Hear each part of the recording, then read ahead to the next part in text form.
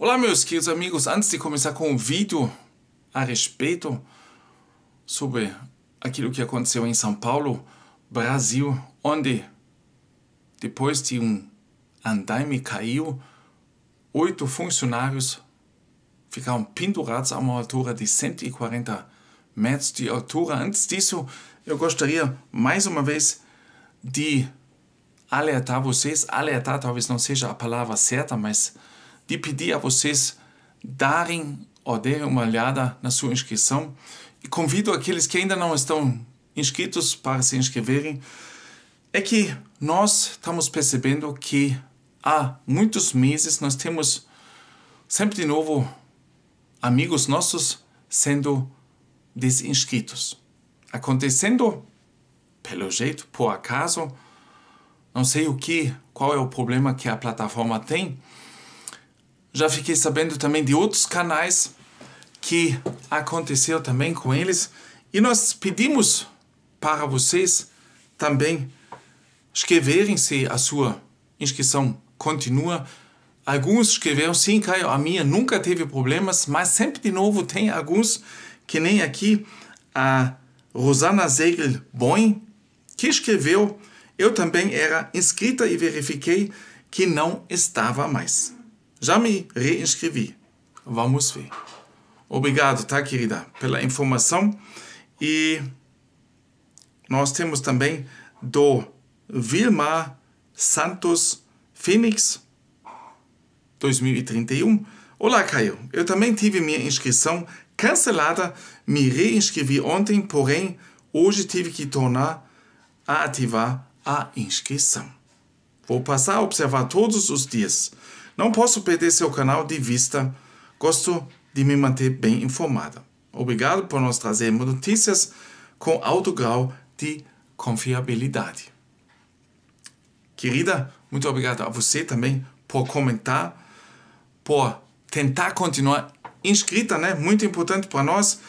E saiu mais um, um que escreveu hoje ainda, Sidney Campos Desouza, Desau, Desau. Meio difícil, né? Ontem eu me reinscrevi. Curiosamente, hoje, quando você agradeceu a reinscrição, eu, curiosamente, fui verificar e estava desinscrito. Então, o que está acontecendo nessa plataforma? Eu me pergunto. As pessoas que querem receber notícias, nós que estamos passando notícias, nós temos algum problema. Alguém não deve gostar do Caio, né? E as informações que o Caio posta, né? Mas eu agradeço do fundo do coração a todos vocês que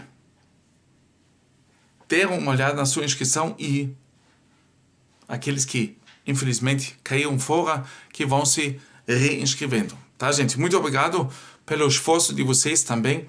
E agora nós vamos às notícias do Brasil. Grande choque numa obra em São Paulo.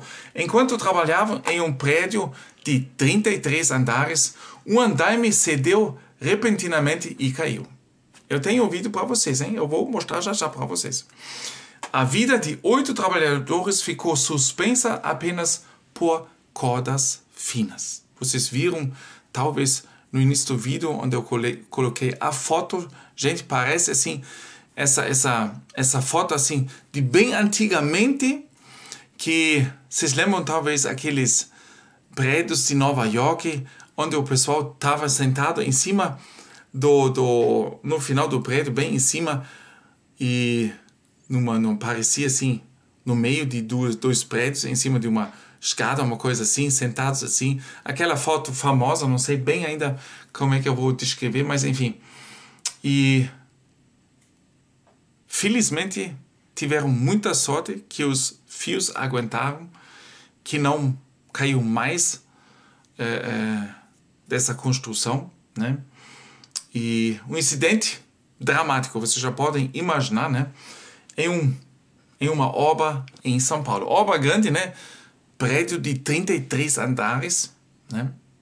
E, logicamente, causou choque e horror quando o andaime cedeu sob os trabalhadores da construção civil e despencou entre duas torres de 33 andares em construção. Um vídeo que nós temos mostra oito trabalhadores agarrados a cordas finas penduradas em uma estrutura metálica a 140 metros acima do solo. E agora eu tenho o vídeo para vocês, lógico.